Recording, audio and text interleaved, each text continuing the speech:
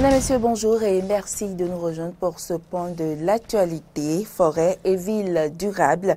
C'est le thème de la journée mondiale des forêts célébrée ce 21 mars. Au Bénin, les manifestations officielles ont eu lieu dans la commune d'Abomey-Calavi. On en parle dans ce journal. L'actualité ces derniers jours au Bénin est fortement marquée par une série de crimes rituels. Vous suivrez dans cette édition les avis de quelques citoyens à ce propos. Et puis Emmanuel Macron veut doubler le nombre d'élèves dans les lycées français à l'étranger. Il a fait savoir lors d'un discours sur la francophonie.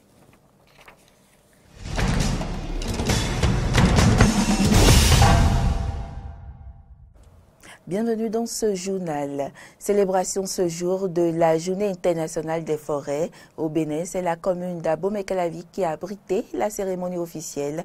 Au menu, nettoyage et mise en terre de quelques plants dans la ville. Cette année, le thème de la journée est forêt et ville durable. Faisons de nos villes des lieux plus verts et plus sains où il fait bon vivre. On écoute le deuxième adjoint au maire de la commune d'Abomey-Calavi, suivi du directeur des eaux et forêts.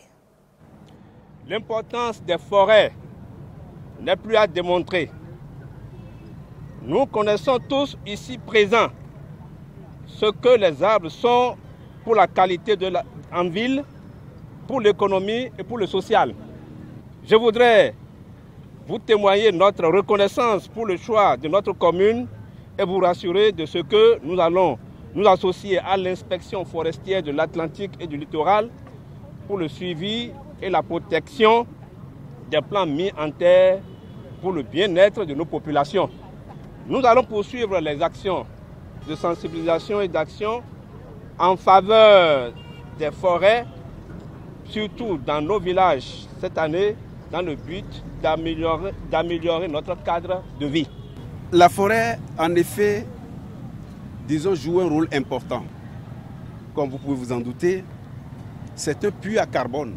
Et ce sont nos poumons verts que nous mettons en ville qui constituent donc les capteurs donc, de ce polluant qui constitue le dioxyde de carbone. La forêt, l'arbre constitue aussi une source alimentaire importante. Et les Nations Unies, euh, lors d'une dernière étude, a montré qu'il y a plus de 2000 communautés qui vivent aux dépens de la forêt, les communautés indigènes. Mais ce qui est constaté le plus, c'est quoi? C'est la régression de notre couvert forestier. Une étude en 2012 de la FAO a révélé que la régression au niveau du Bénin, la régression du couvert forestier au niveau du Bénin est de 50 000 hectares par an. Et une dernière étude que nous avons faite avec la banque nous a révélé que la tendance aujourd'hui va vers 22 à 25 000 hectares par an. Mais la forêt diminue quand même, le couvert forestier diminue quand même. Actuellement, nous avons réalisé ces plantations, mais il faut les entretenir. Et c'est pour ça que nous avons pensé que nous autres, notre manière de célébrer forêt et ville durable, c'est d'entretenir les espaces verts que nous avons réalisés l'année dernière avec vous. La journée internationale sans viande, c'était ce 20 mars. Pour mieux comprendre l'intérêt d'une telle célébration, un diététicien a accepté de nous donner quelques éléments d'appréciation. Son nom, c'est Patrick Zinvoido. Il répond dans ce reportage aux questions d'Antoinette Sabou et Fiacre Voidan. Célébrée chaque 20 mars depuis 1985, la journée internationale sans viande a une origine américaine. L'objectif est de lutter pour le respect des animaux, la préservation des écosystèmes et l'amélioration de la santé humaine. Quel intérêt les diététiciens accordent-ils à cette journée sans viande? Vous savez, la viande, en tant que diététicien, on n'accepte pas trop la viande parce que après 40 ans, il est vrai que chez les enfants, c'est une protéine. L'enfant a besoin de ça pour la solidification des os, le calcium, tout ce qu'il faut. Mais après 40 ans, pour éviter les problèmes d'articulation, d'arthrose à 50 ans, 60 ans, il faut commencer par se délibérer des viandes. Alors que la journée sans viande, c'est une bonne journée que moi j'apprécie. Il faut commencer à prendre la conscience de ne plus consommer trop de viande parce que les viandes nous provoquent des toxines. Et trop de toxines dans l'organisme, on est exposé à des maladies d'articulation. Donc il faut éviter la consommation excessive de la viande. Quel type de viande faut-il alors consommer? Le diététicien donne quelques consignes. La viande blanche est bonne, il faut en consommer. Et c'est surtout le poulet que nous attaquons, le poulet, la pintade. Mais en tant que diète, moi, je, pouvais conseiller simplement euh, de prendre euh, la, viande, la viande blanche, mais en portion, accompagnée d'une bonne cuisson. Cuisson à la grillade, mais cuisson au poêle. Seulement à midi, accompagné beaucoup de légumes.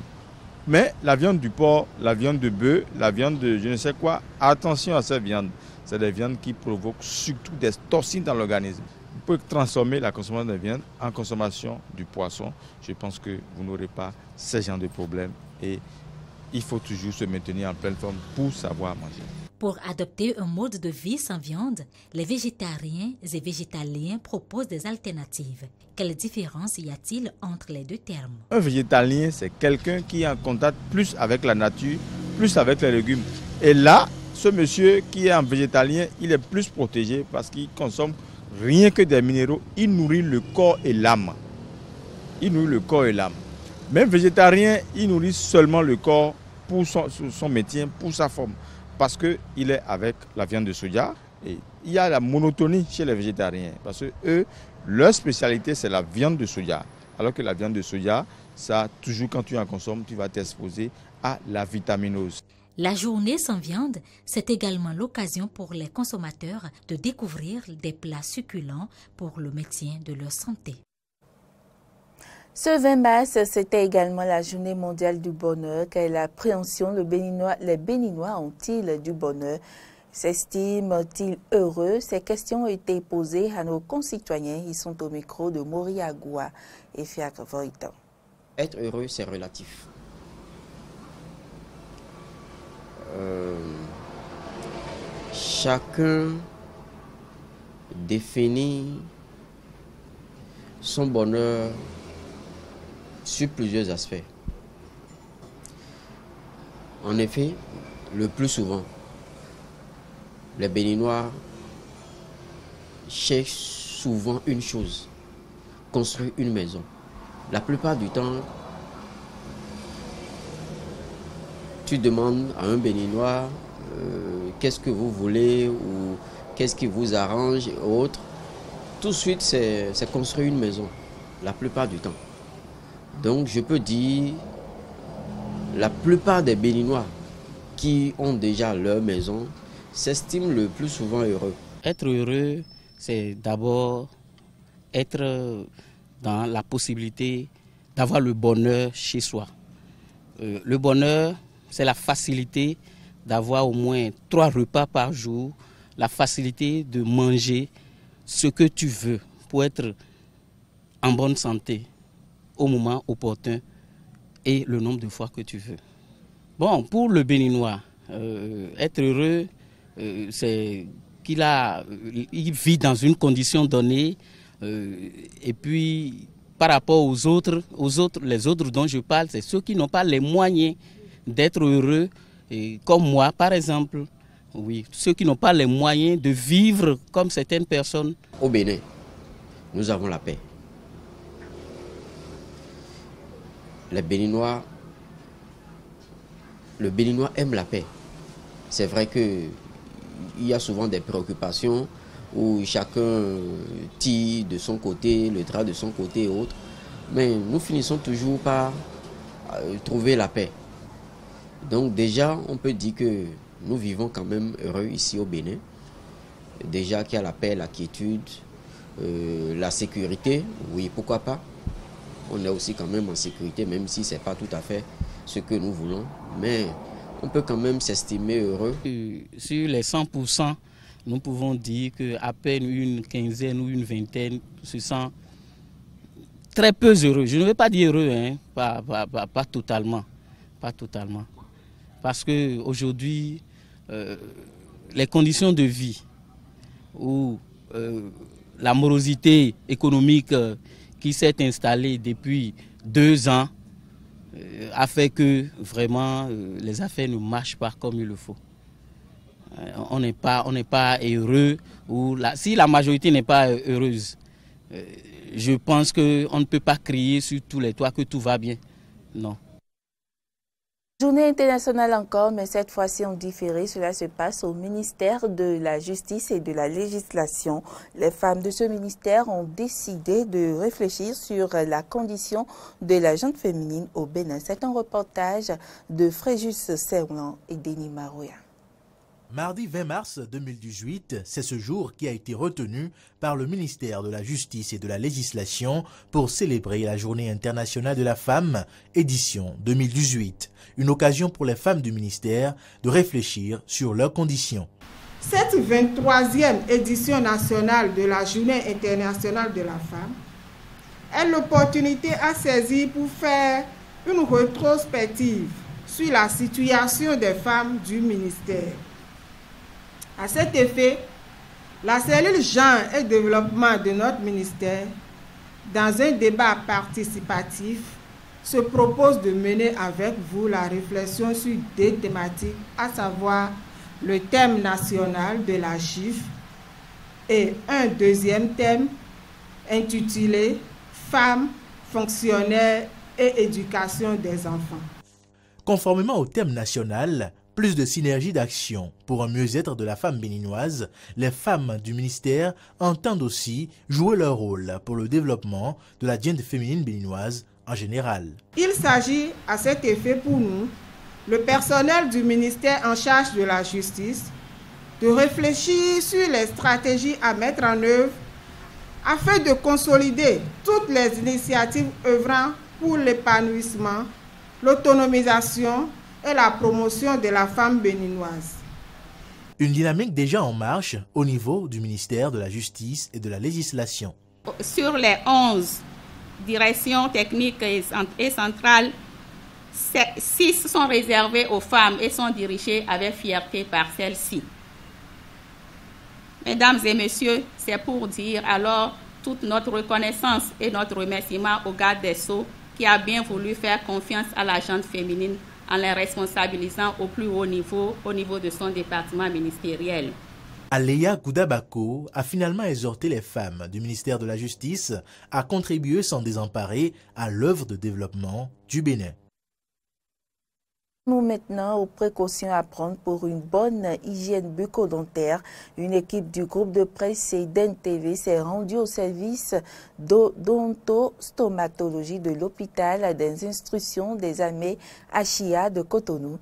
On va dans ce reportage, c'est un, magazine réalisé par Maury Agua et Fiac Voitan. Tchébessi Amavi ressent depuis quelques jours des maux de dents. Il a l'habitude de se faire soigner à l'hôpital d'instruction des armées de Cotonou. Il se dirige vers le service d'odontostomatologie pour sa prise en charge par un médecin. Souvent, j'ai la malaise à la dent.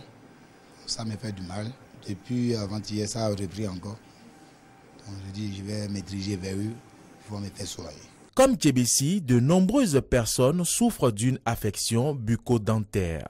Certaines ignorent l'attitude adoptée dans ces conditions qui est de se faire examiner. Après l'avoir examiné, on constate qu'il a euh, une dent qui est carriée là, une dent qui est fracturée du fait de la carie.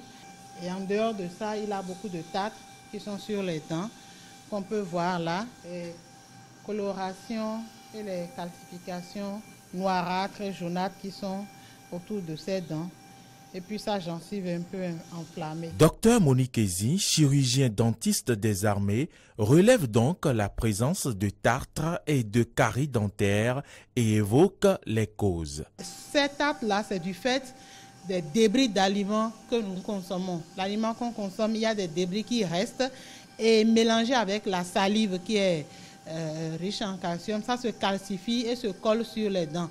Progressivement, la gencive va se rétracter et laisser place aux tartres. Qu'est-ce qu'il y a à la base de cahier dentaire C'est les, aliments cariogènes. Mais ce n'est pas que ça. Il y a beaucoup de facteurs qui entrent en jeu. Euh, c'est consommation d'aliments cariogènes. Les aliments cariogènes, c'est la plupart de ce que nous mangeons, hein, parce qu'il y a du sucre dans la plupart de ce qu'on mange, ou un aliment collant, ça peut rester sur la dent. Et quand c'est collé sur la dent et qu'au bout d'une euh, certaine heure, il n'y a pas un brossage qui permet de nettoyer euh, ce débris d'aliments-là, les, les microbes qui sont en bouche s'y attaquent et creusent la dent en bouffant l'émail de la dent et créent euh, la cavité de carie au niveau de la dent. La prise en charge immédiate de TBC va se faire par un détatrage et le traitement de sa carie. Alors, le détatrage consistera à enlever tout le tartre qu'il y a sur les dents, tout, tout ce qui est euh, jaunâtre, noirâtre, ça dépend de l'alimentation, la couleur peut varier. Ça peut être euh, jaune, noirâtre, etc. Il faut euh, enlever tout ça. Parfois, c'est sur la dent, sous la gencive et parfois sur la gencive. Donc, il faut enlever tout ce tartre-là pour permettre à la gencive de reprendre de la santé et de reprendre sa place sur la dent parce que c'est la gencive qui est le soutien de la dent. Prévenir les maladies bucco-dentaires, c'est avoir une bonne hygiène des dents et de la bouche, précisera le colonel Boni Gessou Chabisika, chirurgien dentiste, orthodontiste, chef service odontostomatologie à l'hôpital d'instruction des armées de Cotonou. Nous devons éviter les aliments qui sont plus aptes à créer la carie et nous devons pouvoir bien brosser les dents pour que la charge microbienne ne soit pas un, un, facteur de risque. Il faut aussi avoir une bonne technique de brossage. Pour bien se brosser les dents, il faut faire mâchoire par mâchoire. Il ne faut pas fermer, serrer les dents et faire les deux à la fois. Donc lorsque vous avez ouvert votre bouche comme ça, votre brosse en main, il faut pouvoir brosser verticalement de la gencive vers la dent. Cela veut dire en haut, du haut vers le bas et en bas, du bas vers le haut. Par contre, sur les surfaces qui mastiquent, vous pouvez faire un brossage euh, horizontal de va-et-vient.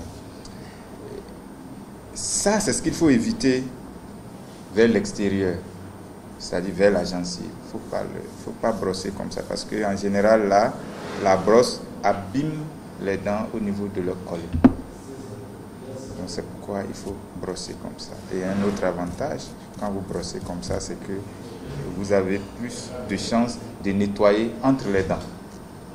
Comme ça, comme ça. À l'intérieur, même chose. Vous pouvez aussi euh, utiliser un mouvement de, de rotation. C'est-à-dire que vous pouvez prendre votre brosse et tourner sur les dents, comme ça.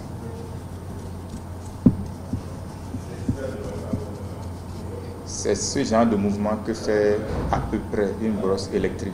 Donc une brosse électrique est très bien parce que vous n'avez pas besoin de faire tous ces mouvements ou comme ça. Vous posez la brosse seulement et puis les poils tournent et nettoient bien la dent. Mieux se porter dans la bouche nécessite plusieurs précautions comme s'informer pour savoir prévenir les maladies, se rendre une fois par an chez un dentiste pour se faire examiner. L'actualité ces derniers jours est fortement marquée par une série de crimes rituels, l'assassinat d'enfants avec tête emportée ou crimes crapuleux avec des organes ôtés sur les corps des victimes. C'est le quotidien que vivent les Béninois. Ces crimes, dit-on, sont opérés pour faire des rituels. Mais que savent les citoyens de ces, de ces crimes? Nous avons interrogé quelques citoyens. C'est qui les aide à avoir ce fétiche-là, ou bien ce beau-là, ou bien ce vaudou-là qu'il faut s'attaquer.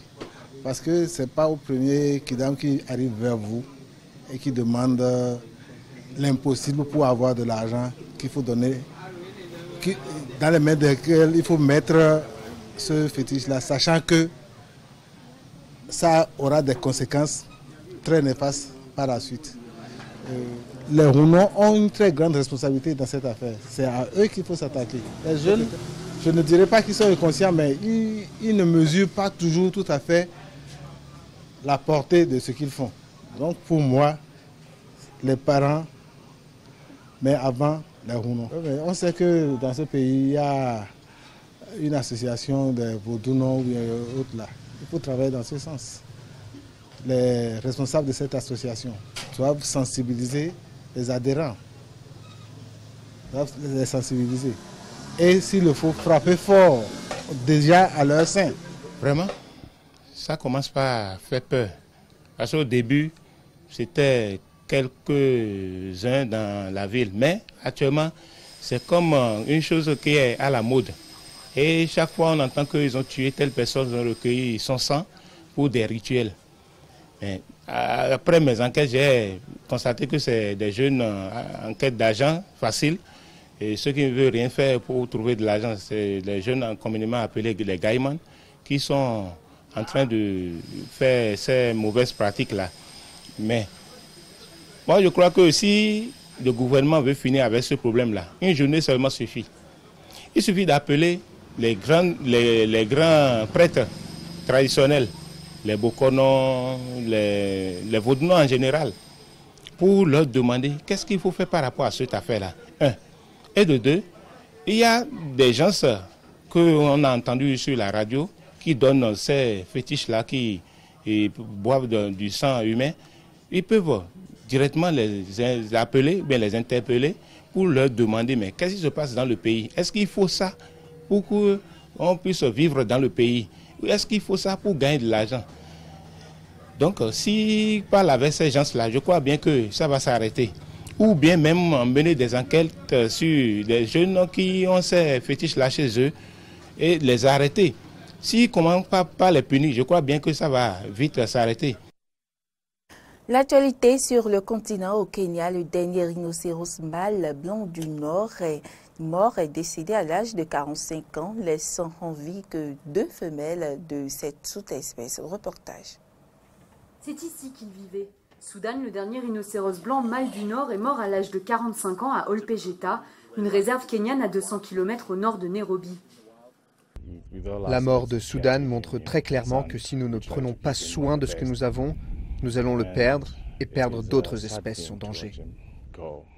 Soudan était malade depuis quelques mois. Son état de santé s'est dégradé ces dernières semaines, ses muscles et ses os étant notamment affectés par le vieillissement. Les vétérinaires ont pris la douloureuse décision de l'euthanasier. La mort de Soudan montre très clairement que si nous ne prenons pas soin de ce que nous avons, nous allons le perdre et perdre d'autres espèces en danger. Quand Soudan est né en 1973 au Soudan du Sud, il y avait encore 700 rhinocéros blancs du Nord. À sa mort, il ne reste plus que deux femelles en vie, toutes deux incapables de se reproduire. Seules des avancées de la science pourraient sauver cette sous-espèce de l'extinction. Et puis en France, Emmanuel Macron a fixé l'objectif, eh bien, m'a dit, le double de le nombre d'élèves dans les lycées français à l'étranger lors d'un discours sur la francophonie. Le président français a par ailleurs rendu un vibrant hommage à ces héros bien particuliers qu'on appelle les profs de français avec un clin d'œil appuyé à son épouse qui enseignait le français. Le chef de l'État a également eh bien, insister sur la nécessité d'améliorer l'accès au français pour les réfugiés en France qui ont droit actuellement à 250 heures d'apprentissage. Mais je vous défie d'apprendre le français en 250 heures, a-t-il dit en annonçant que le volume de cours gratuits serait porté à 400 heures, voire à 600 heures pour ceux qui ne maîtrisent ni la lecture ni l'écriture. On l'écoute. L'objectif est qu'en 2022, le réseau des écoles proposant des sections bilingues francophones de qualité portant le label France Éducation regroupe 500 établissements contre les quelques 209 actuellement. C'est un immense défi et nous ne relèverons celui-ci que si nous savons faire se lever une génération nouvelle, militante, ambitieuse, une génération de ces héros bien particuliers qu'on appelle les professeurs de français. Vous me direz que sur ce sujet, j'ai une forme de conflit d'intérêts biographique qui pourrait conduire à fausser mon jugement. Je ne pourrais le nier. Mais je veux néanmoins dire que toute notre histoire, l'histoire de notre pays, fut constitué par ces... Monsieur, c'est tout pour cette édition. Merci pour l'attention et à bientôt.